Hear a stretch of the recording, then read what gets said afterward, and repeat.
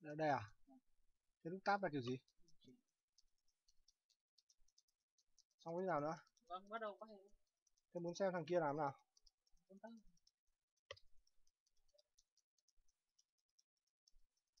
ờ, đấy thằng Yamato vẫn đang đấy mà. Thằng hai đây thằng hai. có được đâu. Có sang máy thằng kia đâu. Đây là máy thằng nâu nhá. Đây máy thằng nâu ừ. Chuyển sang máy thằng vàng không nào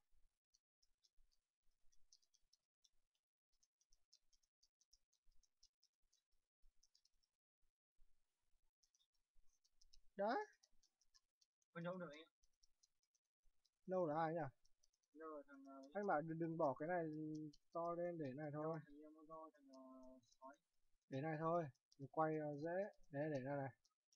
Đấy. Táp này chuẩn không? Đấy, cái này cũng được cái gì đâu mà. vâng xin chào quý vị và các bạn. À, chúng ta đến với trận bán kết thứ nhất giữa cặp đôi song sát đến từ 303 R R303 đời đáng tử và bắn chim đấu với cặp đôi uh, sói và quýt à, ở trận này thì chúng tôi chỉ có máy của cặp đôi quýt và sói à, sói màu vàng cầm uh, person ở góc uh, 5 giờ. Và vâng đối phương uh, cặp đôi 303 là có một pa Milan tôi không nhìn rõ quân gì nữa. Uh, quýt thì cầm baby. À không tôi nhầm quýt cầm Yamato. Vâng Yamato và Per cặp đôi uh, chém uh, cực kỳ phũ phàng ở cái map Laz này. À, bên uh, 303 thì có một Pamiran rồi cũng là một quân chém cực tuyển vâng, ở map Laz với khả năng ép đời siêu phũ có thể chém bất cứ quân nào. À, còn bắn chim thì không biết là cầm quân gì vừa nãy check quân tôi không để ý có thể là baby. Phô. Phô à? Phô phô. Và chim lợn nói về là đó chính là phô Dạ, và phô với cả Pami đấu với cả Per Yamato. Kèo cũng khá là cân. Nếu mà cặp đôi ờ, quýt và sói chém được thì hoàn toàn có thể thắng ở trong trận này. À, chúng tôi đang ờ, quay máy của game thủ quýt cầm Yamato. Đã thấy một voi. Tiêu đầu đã lùa về một con gồm bốn con. Gỗ đầu thì rất là xa. Chú voi đầu cũng chỉ có một con.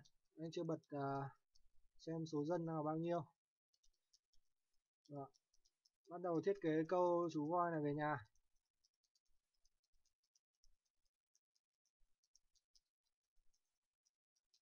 Rồi, gần được rồi. Hai ba hit nữa thôi. Và anh để dân này kia thì mất mất 10 gỗ rồi. Dân này phải để cho về trả gỗ xong rồi mới phi voi. Không đang làm gỗ mà lấy thực thì sẽ bị mất mất số gỗ đang cầm trên tay. Ờ, đây là trận à, bán kết à, thứ nhất. À, giữa vâng có tạm dừng rồi không hiểu tại sao. Đây chính là bạn trận à vâng Pamiran và Phô đầu Per Yamato. Kèo khá là cân. Toàn những quân tuyển cả bốn quân đều là quân tuyển. Yamato thì có lợi thế về à, dân đi nhanh chém thì siêu rẻ. Uh, Persian thì có lợi thế ăn thịt cực nhanh và lạc đà ra siêu nhanh uh, Phoenician thì có lợi thế chặt gỗ và Pamiran thì như các bạn đã biết uh, lạc đà lạc đà gió. Uh, đang có tạm dừng không hiểu tại sao mà team 303 đang tạm dừng. Và đang có chỉnh chuột.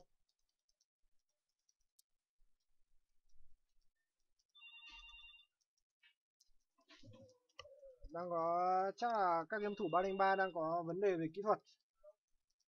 Đang có chút tạm dừng. À, vâng ở trong trận đấu này là bốn quân đều là quân tuyển. Vậy các anh sẽ đánh ra sao? Khi à, phô thì có khả năng lên cung. Yamato và Per đều có thể châu chém.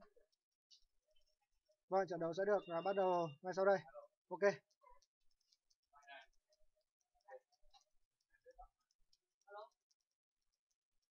Đấy, chưa thấy quýt à, à vâng bắt đầu rồi. Sao đây tiếp tục rồi. Vâng, trận đấu đã quay trở lại. À, anh cho dò game thủ quýt cho dân đi dò rất ít. Cũng mới chỉ thấy được một à, bãi hiêu đầu mua được một con về và một à, con voi. Vẫn chưa thấy đồ gì ăn cả rừng là khá đẹp. Nhưng mà đối với Yamato thì cũng không hẳn hẳn là một lợi thế. À, đối với dân Yamato thì chủ yếu à, cần quả phụ và chiêu đầu đưa về được là tốt nhất. Vì uh, câu voi đối với dân Yamato rất là khó tại vì dân đi rất nhanh. Như đã có một bánh xe rồi đấy và chiếc S uh, đầu đã được thiết kế để ăn uh, bãi hiêu đầu luôn. Bãi hiêu đầu thì bây giờ chỉ còn có ba con vì một con đã được đưa về nhà chính rồi. Nhà tương đối là kín. Vị trí này sẽ có thể đóng BR hoặc là phía dưới trên đấy có thể bo vào.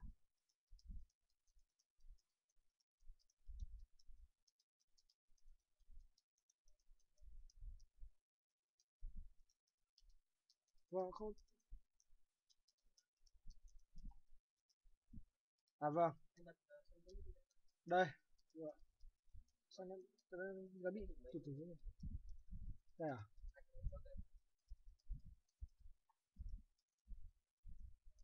Vâng. Đã thấy một bãi hiêu phụ ở cũng khá là xa nhà. Nhà thì tương đối là nghèo không có gì ăn cả. Bãi hiêu này dường như có 7 con rồi. À. kể cả cái bãi hiêu này có 7 con chăng nữa thì lên đời cũng chưa chắc đã đủ thực lên đời. Nếu mà lên được đời thì cũng lực rất là yếu. Tại vì uh, hiêu bay thực rất nhanh nếu mà voi thì còn đỡ nhưng mà hiêu bảy thì là cũng là tươi rồi. Đã kích đời. Tại sai không dò vào trong góc ừ, 6 giờ. Còn cả một khoảng đen rất lớn ở phía trong. Đó, dường như đã nghe tôi nói. Và anh cho đến tầm khoảng tầm 9 con dân chặt gỗ mà quá nhiều dân chặt gỗ rồi không biết để làm gì. BB được thiết kế mà anh bây giờ đã có dường như đã đủ gỗ để đóng nhà điều kiện rồi. Thế là quá nhiều dân chặt gỗ. Chỉ cần 6 dân chặt gỗ từ đầu là đủ.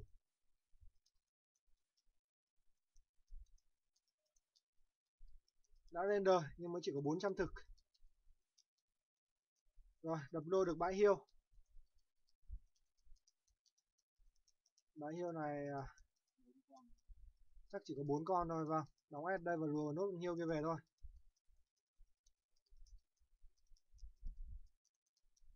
Khả năng sẽ kích đời ở tầm 11 rưỡi.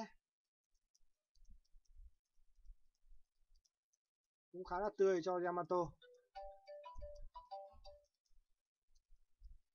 Đó, đã thiết kế BM Và 11 rưỡi là không phải sang 12 rồi. Không cũng có thể là không. Bắt đầu xóa ruộng. Dạ, Và 11 phút 42 giây. Đã kích đời với cả 24 dân Yamato. Một lỡ được thiết kế bắt đầu thiết kế à, bãi vàng đầu ừ, chúng ta chuyển qua một chút về màn hình của game tử game thủ và sói cái gì nhỉ?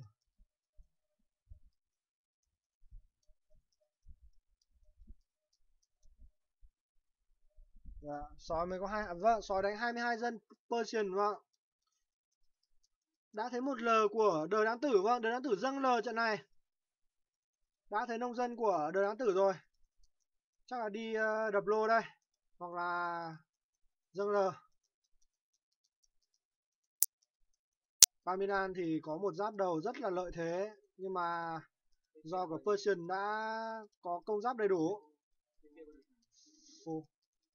và Pan Pani sẽ đôi công với cả Persian một trận đấu gọi là vâng lại có tiếp tục uh, tạm dừng đến từ game thủ bắn chim có thể chuột đang gặp vấn đề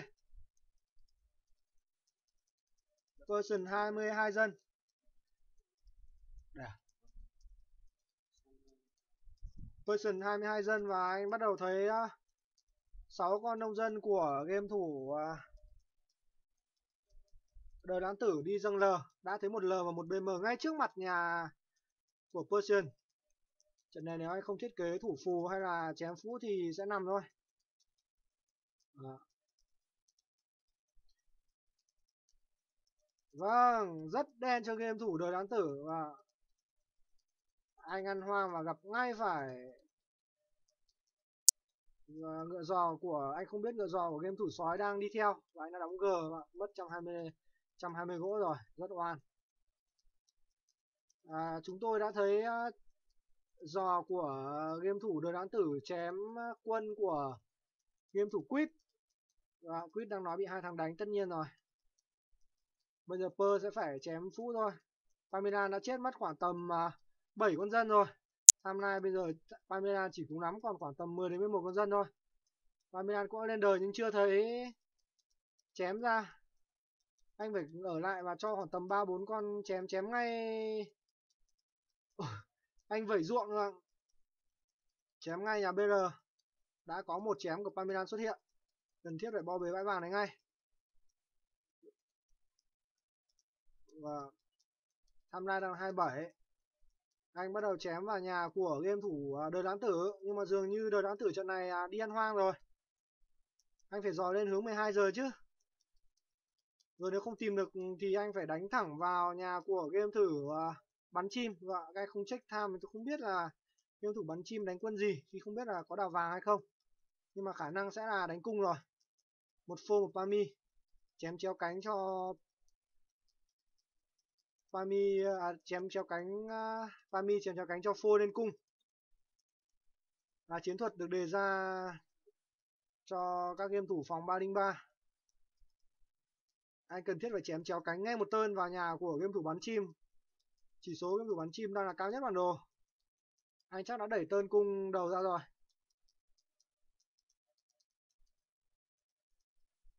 Game thủ đời đoán tử dường như là đã là phế rồi anh cũng không chém được nhà Pơ nhiều lắm tham lai của Persian bây giờ đang gần 30 một chút nữa thôi là Persian có thể nở ra tham lai rất nhanh. Vì Lạc Đà có tốc độ sinh rất nhanh so với các quân khác. Anh cần thiết phải chém ngay một tơn vào nhà phô vâng phô rất to. Và các anh có thể các, các bạn có thể thấy phô khá là to. Parmesan thì dường như là đã fit rồi có thể lên cung A hoặc là khả năng anh sói sẽ lên cung A.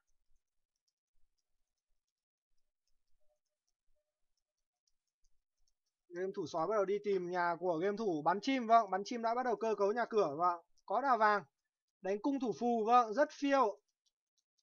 Để đỡ chém Yamato và chém Persian, đánh cung thủ phù vâng. Một chiến thuật được đặt ra. Khả năng trận này sẽ là một trận à, ốp nhà tổng lực của game thủ sói và quýt thôi và nhà của uh, game thủ bắn chim. Phù này có thể đủ đỡ nhà um, Pamilan rồi. Pamilan hầu như đã phế rồi. Thôi anh còn uh, quay đi quay lại nhà đấy làm gì? Anh có hai dân chơi và anh chuẩn bị thiết kế ba đây. Vâng tôi biết ngay mà. Dường như bây giờ không được lên uh, À anh phải lên lập tức anh phải lên ngay châu chém để ốp tổng lực vào nhà của Phoenician. Vâng, đã có dâng phù. Và game thủ quýt kêu gọi game thủ sói đánh 10 giờ đi nhưng anh cứ luẩn quẩn quân như này thì đánh bằng gì? Và anh bị ờ, công phù rồi. Phải lôi ngay phù lên ờ, phù lại những con phù đã mất thôi. Vâng, mất hai con rồi. Rất không kinh nghiệm và anh đánh như này thì game thủ uh, quýt sẽ rất mệt và phô sẽ rất to. Khi một khi ờ, Yamato không cân được phô mà phô nở ra thì không có cửa gì đỡ. Vâng. Đây chính là chém của phô. Và anh bo là hơi hở tí nhưng không sao. Vâng anh chém ngay được một bãi dân của Pamiran. Vâng Pamiran dường như đã rất phế rồi. Phải này ờ, quả này vâng đã có đạp đôi của à đạp đơn của nhà Phoenician vào anh phải lôi thêm con phù kia ra phù thôi.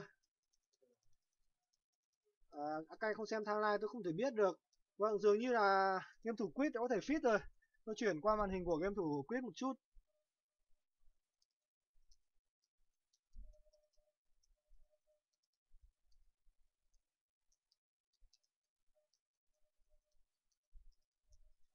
Vâng, timeline đang là 12 Đang game thủ uh, bắn chim ờ, trận này đánh rất là hay. Anh cân được nhà Phoenician và đỡ được nhà của Persian đánh.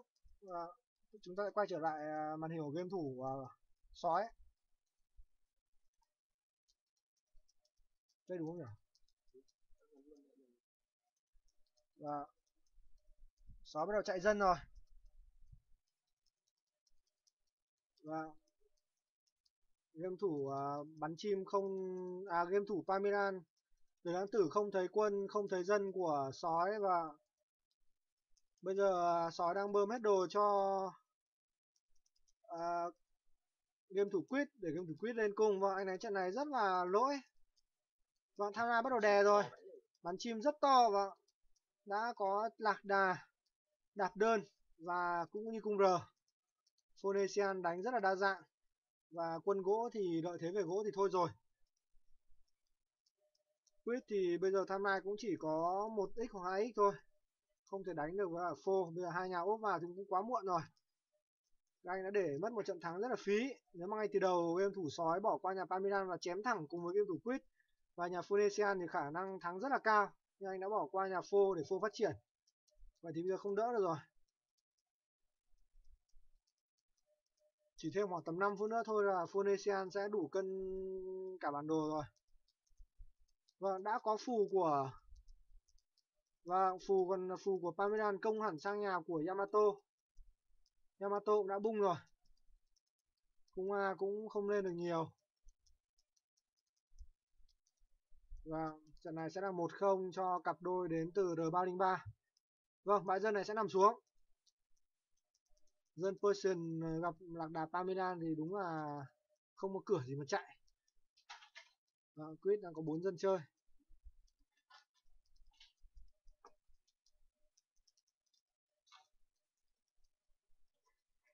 Và Phoenician có cả phù cả cung r cả đạp cả lạc đà anh đánh rất đa dạng và game thủ uh, bắn chim chạy đánh rất hay.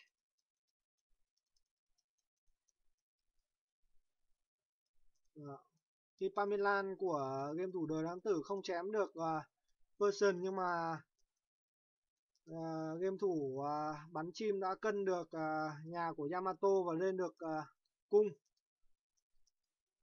Và tham nay đã siêu đè rồi. Phải tầm 70-30 rồi các anh còn chảy cối gì nữa đây. Trận này sẽ là 1-0 cho cặp đôi đến từ 303 chắc chắn là như vậy rồi. Phoenician nở quá to rồi. Lợi thế của Phoenician thì các bạn cũng đã biết là đó là chặt gỗ rất nhanh. Chặt gỗ ở một lần chưa nâng cấp đầu tiên đã tương đương với cả chặt gỗ nâng cấp một lần của các quân khác. Và Phoenician đã rất to rồi không có cửa đỡ chọn này rồi.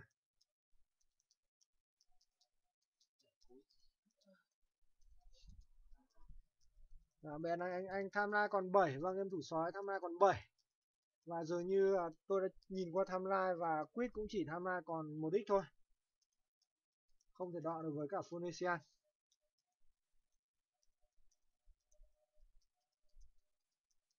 ờ, siêu đè rồi. Đúng là quýt cũng chỉ còn có khoảng tầm hơn 10 tháng thôi. Trong này quýt chỉ tương đương với Pamiran bên kia. Và các anh vẫn chưa đi ra không phải các anh còn chờ đợi cái gì nữa.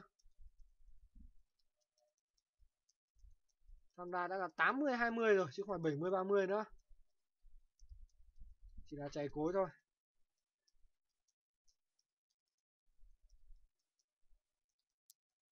Trận này game thủ uh, bắn chim đánh rất hay và anh cầm Phonesian và thể hiện rõ sự bá đạo của Phonesian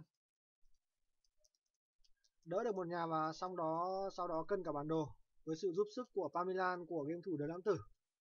Bây giờ thì Đờ Lãng Tử chỉ có một việc duy nhất, đi làm là quản bản đồ. Vâng tỷ số là 1-0 cho cặp đôi đến từ 303 chưa mở à?